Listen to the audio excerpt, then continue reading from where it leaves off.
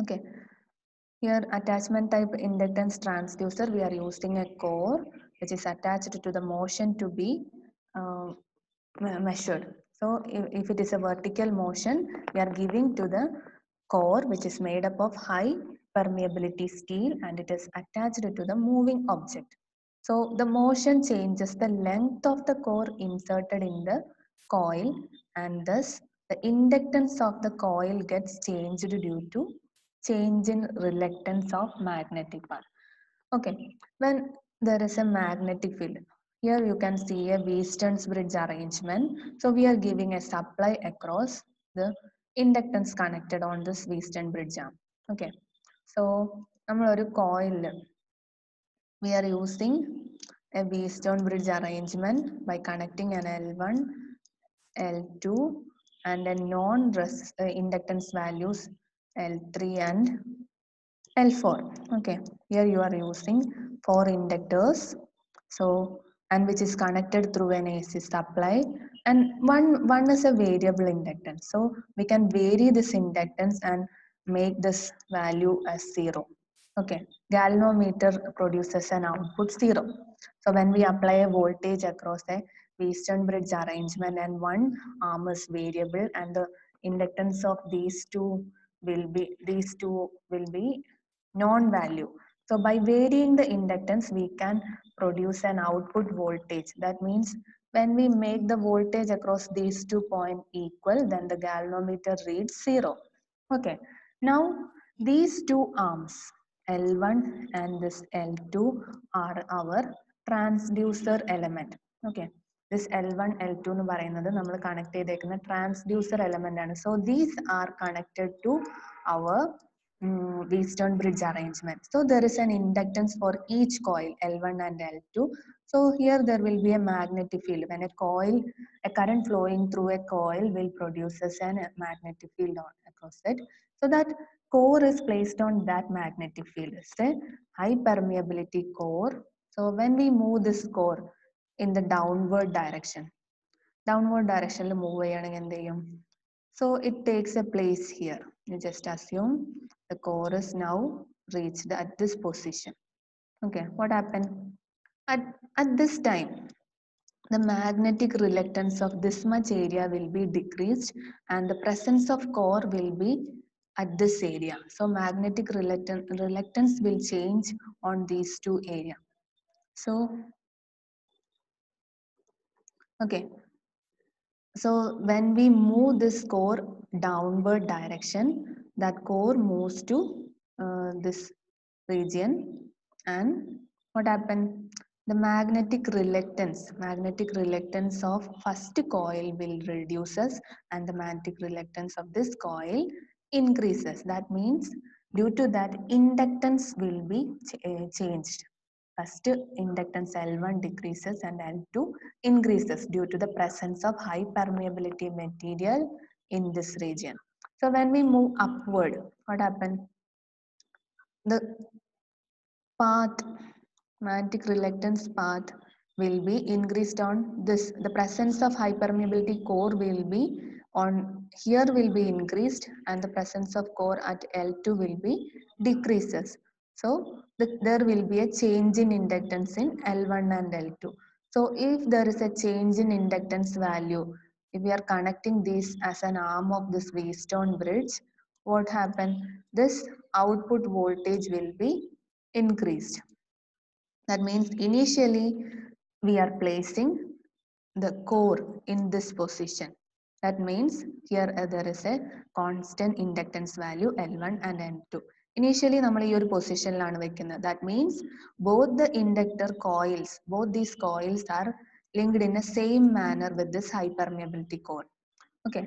At that time we are connected these arms of inductor coils to a Wheatstone bridge so the inductance value will be l1 and l2 and by varying this mm, non values of inductance we can produce a zero voltage here. Okay, so initially the voltage ind- in- indicated by the Wheatstone bridge is zero. So when we move this core in the downward direction or in the upward direction, it produces a change in inductance value here. So this change in inductance value produces a change in voltage at these two points and it will produce a voltage across this arm and th there will be a reading in the galvanometer. So that voltage produced will be proportional to the motion of this core.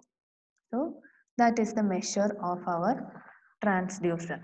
So this inductance type transducer produces an output voltage which is proportional to our motion to be measured. Okay, so here you need a carrier frequency voltage. That means we are applying an input voltage to the supply as a supply. Then only it can produce a output voltage in the galvanometer. In um, before you we have studied self-generating type.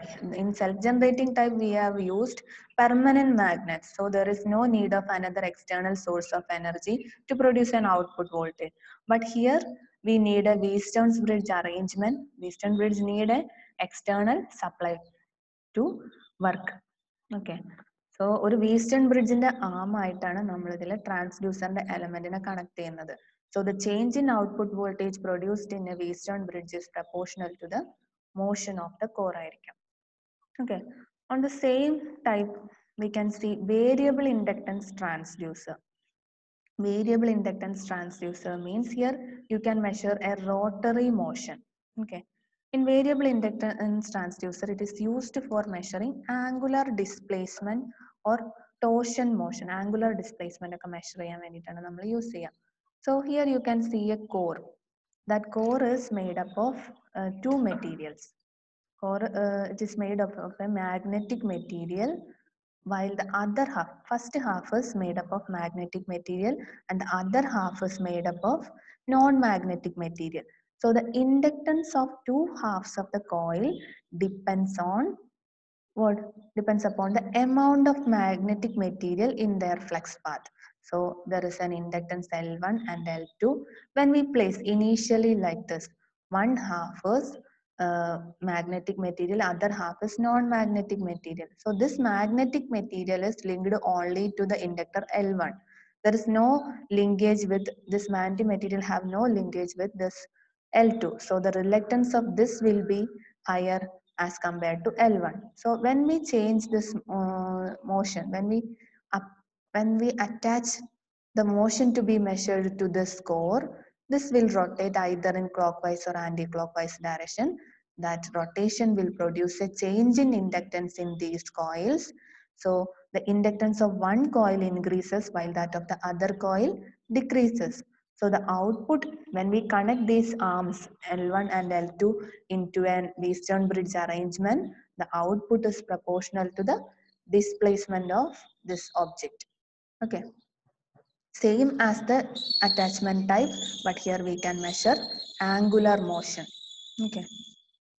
Then another one, an important one is linear variable differential transformer. LVDT എന്നാണ് പറയുക it's an important uh, one transducer. Most of the exams we have this question as an essay question. Okay, linear variable differential transformer LVDT. LVDT. So it is an inductive type transducer which is an electromechanical device that produces electrical output which is proportional to the displacement of a movable core. So most commonly used variable inductance transducer in industry is LVDT. So most common ആയിട്ട് use ചെയ്യുന്നത് LVDT ആണ് and it works on the principle of variation of mutual inductance between two coils with the displacement. Okay, here you can see a word linear. So the output is linear and variable differential transformer type. Transformer, we have studied about transformer. You know, constructionally transformer as a primary winding and a secondary winding. Here also there are primary and secondary winding. You can see here in the figure, there is a primary coil and two secondary coils, but it is connected in series opposition. One coil is wounded here and the current flow, if the, there is a current flow, you can see one current is uh, flowing from left to here right and here it is series opposition connected in series opposition so the magnetic field produced by first coil will be in a direction opposite to the magnetic field produced by second coil. Okay. Only single primary coil manufacturer there is single primary coil and two secondary coils which is connected in series opposition. Series opposition means when uh, current flowing through this coil, when we twist it like this, the magnetic field produced by this coil will be opposite to the direction of magnetic field produced in this coil. Okay. So, the this picture will be more clear for you. It's a linear variable differential transducer consists of a primary winding and two secondary windings. Here you can see one coil is found here and a series opposition coil is connected here and the output is taken across these two coils. So നമ്മൾ പറഞ്ഞു in the secondary coil of this transformer it produces an opposite magnetic field. So the output voltage will be output voltage here taken will be difference of the two voltages across these two secondary coils. Okay, voltage induced in each coil. Here if the voltage across to here is V1 and when the voltage across here is V2 then the output voltage will be V1 minus V2 ആയിരിക്കും. Okay, because it is connected in series opposition. So there is a primary coil. It's a magnetic core placed in between it. Okay. So the cross-sectional view is here. That means a primary coil, a ferrite core is placed inside it. Initially the ferrite core position is here. That means the first secondary coil, first secondary coil and secondary coils are two. Here first one. First one linked with the ferrite core is same as the secondary uh, second secondary coil. Okay. That means here you can see the ferrite core is placed at the middle of the uh, this arrangement, primary secondary coil arrangement. And this time the ferrite core linkage with the secondary coils are same. So voltage induced in each coil will be magnitude will be same. Both are V. If uh, the voltage induced in first secondary and second secondary are same, what will be the output? That will be zero volt because the difference of two voltage will be the output voltage across two secondary. So the output voltage is zero. Then when we move this ferrite core into this direction, what happen? This core will reach us here. And here it will be detached from this secondary coil. So the total ferrite coil linked with the second, this second one. So here the voltage induced will be increased and here the voltage increased will be decreased. So the output voltage have a magnitude there. One voltage increased as compared to another one. So there is a difference in voltage. So there will be an output voltage. So when we move here into this side, what happen? This core will take a place like this. Okay. So now there is no linkage with the second, this second coil. So here there is no induced EMF in secondary coil, but there is an output voltage in this secondary coil. So it produces an output, average output voltage here, difference of these two voltages. So the whole sensor uh, is enclosed in a shielded core. Here you can see the whole arrangement is uh, covered by a shield for that uh, the reason for shielding is it cannot it should not influence with the external magnetic field and also this magnetic field produced by this primary and secondary will not go outside the um, outside of this atmosphere okay? Just to reduce the loss and also the uh, to remove or to avoid all the external influences we are covering this arrangement with a total shield covering okay so mainly linear, I will explain again. Just linear variable differential transformer. The output produced by this uh, is a linear output voltage and it is a variable differential transformer. Transformer, you know that constructionally there will be two windings, primary and secondary windings. So a primary winding is placed here. Here we are giving a sinusoidal voltage here and the core here you can see a shaft. In this shaft a portion of this shaft is a ferrite material. So initially we are placing a core within this primary and secondary coil. That ferrite core is placed in a position like this. Initially the ferrite core is placed at the central of that core. Okay. Then if we want to measure a motion or linear motion we apply that motion to this shaft so when the shaft move up or down what happen? When we move this shaft in up and down the ferrite core position will be changes. So we we have applied a voltage in the primary. So this primary winding will produce as a magnetic flux. And we apply a voltage across it this winding will produce as a magnetic flux and that magnetic flux will be mutually linked with these two secondary coils. And physically we have connected these secondary windings. We have two secondary coils. So when we we are connecting these secondary coils in series opposition see uh, by connecting series opposition the output voltage produced in the secondary will be difference of the voltage induced in each coil so when we apply a voltage in a primary coil, it induces an EMF in secondary. And if the EMF produced in first secondary is V1, in the secondary, uh, second secondary is V2, then the output voltage is V1 minus V2. So when the core, ferrite core is at the central, the total flux linkage with both the coil is same. So the EMF produced on each coil will be same. So V1 will be equal to V2 So the output voltage will become zero.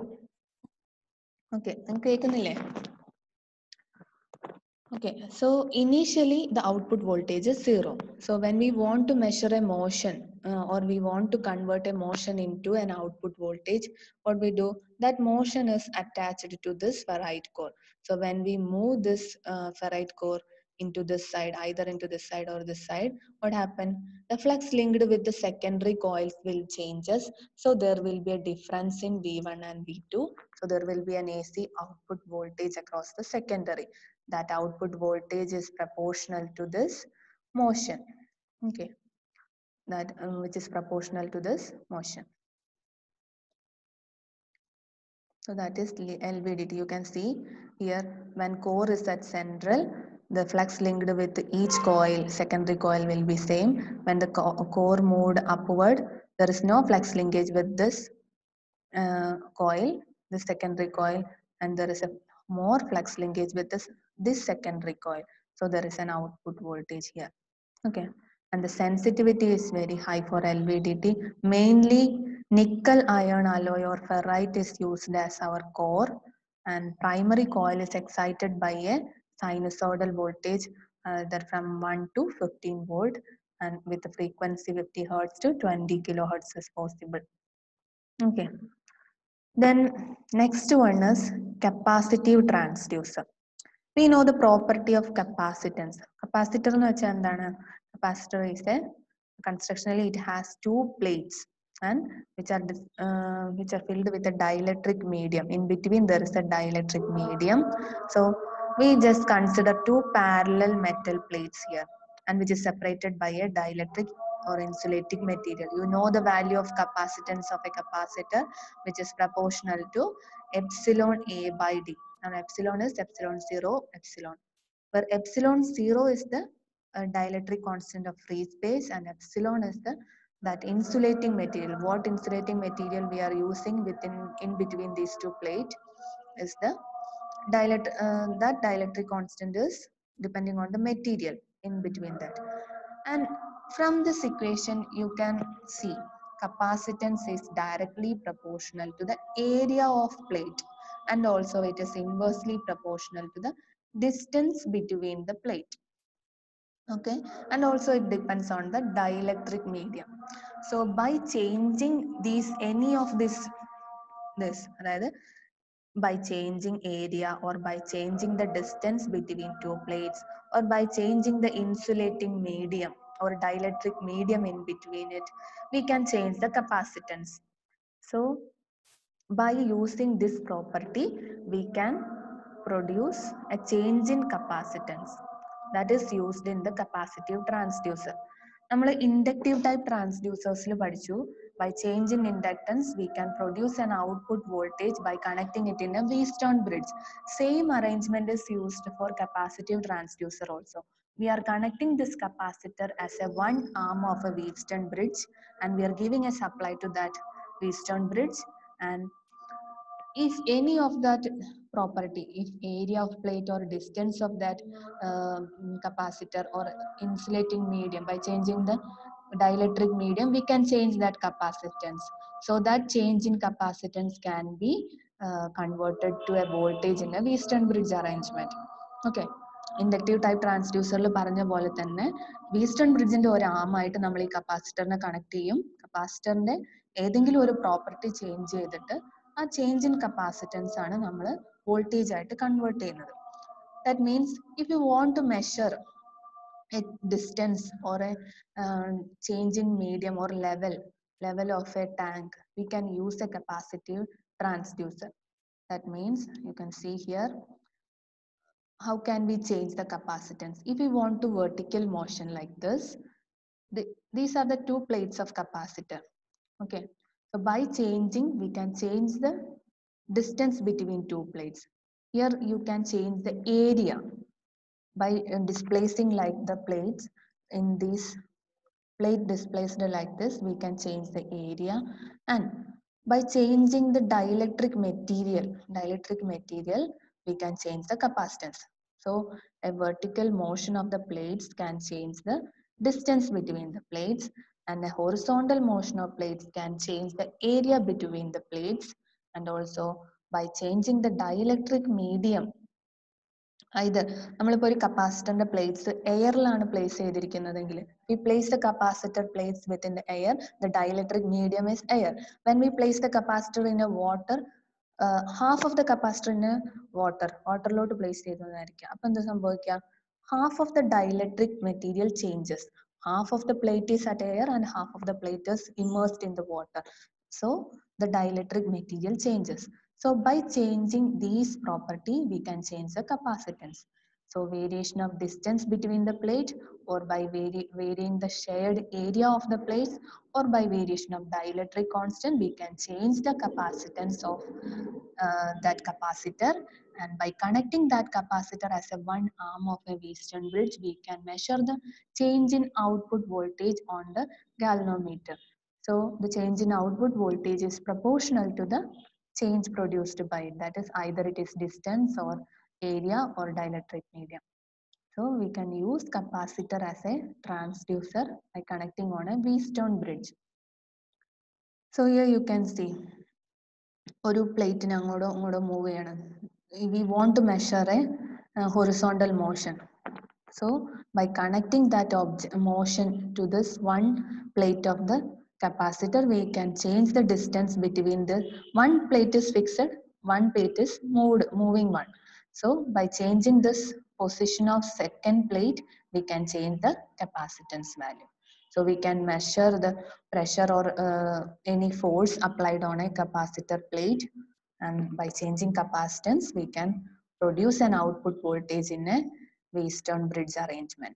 Okay and another one here, to measure the liquid level also we can use capacitive transducer. You can see the plates are, fixed plates are immersed to a liquid. So a portion of the uh, this capacitor is immersed on the liquid. So the dielectric property of this much area of this capacitor is different from this area. അല്ലേ ഒരു portion ലിക്വിഡിലാണ് ഒരു portion uh, above the liquid so half of the capacitor is uh, in the surrounding air air and half of the capacitor plate is immersed on the level. If the liquid level change increases what happen? The dielectric constant also changes. So epsilon change epsilon value will changes. So the level of the liquid can be measured by in the in terms of change in capacitance so നമ്മൾ ഈ liquid level കൂടുന്ന കൂടുവാണെങ്കിൽ there will be change in epsilon value. So it produces a change in capacitance. So by connecting that capacitance to a Wheatstone bridge arrangement, we can measure how much the voltage. So we can identify how much is the level of liquid in that tank by using a capacitive transducer. Okay. Then another one is to measure the rotating motion also we can use a capacitive transducer. One plate is uh, made as fixed one, another plate we are rotating that means the uh, area can be changed. When the plate starts rotating, area will be area linked with the fixed plate will be increased. So the change in area will also produces a change in capacitance. So an output voltage will be produced on Wheatstone bridge arrangement. That will be proportional to our rotational motion. Okay. Then another one is magnetostrictive transducer. Okay. So these are the different type of transducer. Here you can see magnetostrictive type is used to measure the force, force applied on it Okay, force or stress applied on it. It is based on the principle that the magnetic permeability of a ferromagnetic material is material like a nickel changes when the material is subjected to mechanical stress. അതായത് നമ്മളൊരു force apply ചെയ്യുവാണെങ്കിൽ we can change the magnetic property of a material like this material is a nickel and we uh, we have already placed or attached a coil on this material. So this is a magnetostrictive material. The property of magnetostrictive material is the magnetic permeability will changes when we apply a force stress or tension on it. The magnetic permeability will changes for example, nickel is, is a magnetostrictive material. So when the material is subjected to compression, uh, the mag magnetic permeability will increases. When it uh, apply a tension on the magnetostrictive material, the magnetic permeability decreases. So a change in pressure will produces a, a change in magnetic permeability. So magnetic permeability change what happened? We have already attached a coil on this material. So by changing magnetic permeability, the inductance of this coil will changes. When we connect this coil to a Wheatstone bridge arrangement, there we, we can measure the change in voltage proportional to this change in inductance. So it's a magnetostrictive transducer. Magnetostrictive material is a material which produces a change in magnetic permeability according to the force applied on it.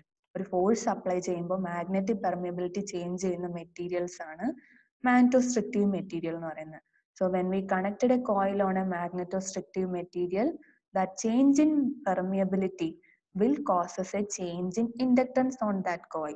So uh, that change in inductance can be converted as an output voltage in by using a Wheatstone bridge arrangement so നമ്മൾ ഈ inductor കോയിലിനെ ഒരു Wheatstone ബ്രിഡ്ജിന്റെ ആമായിട്ട് connect ചെയ്യാം so A change in inductance will produce A change in voltage in in Wheatstone bridge that will be proportional to this force applied on it.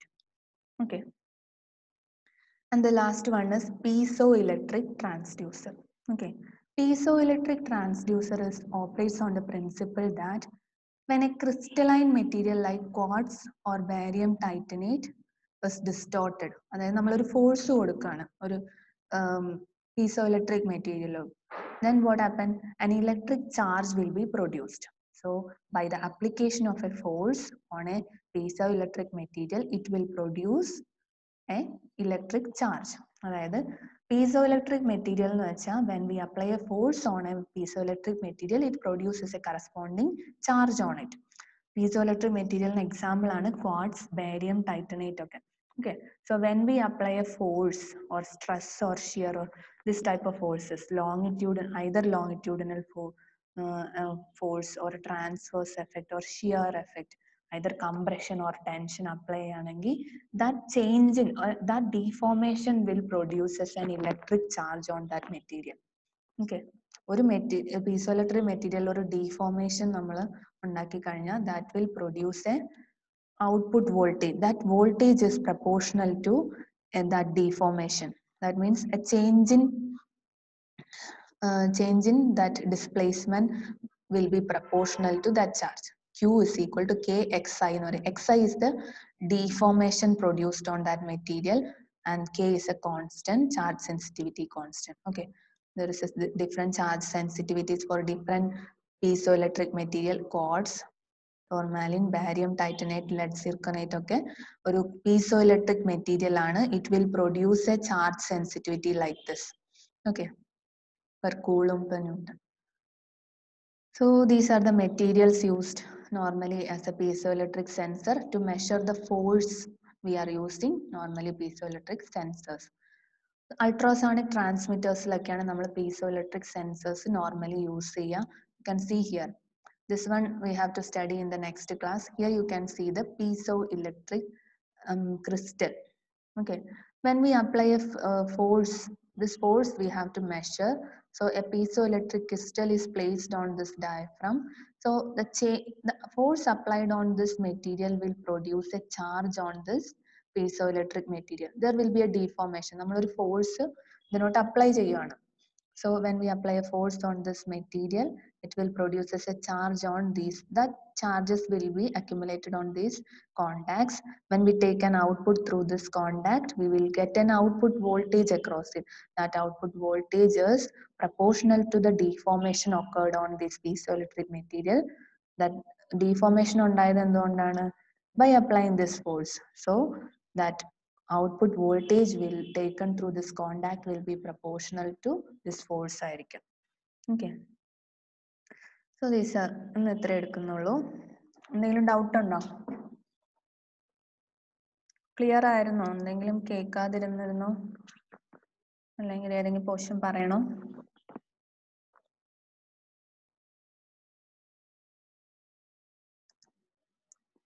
ഡൗട്ടൊന്നുമില്ല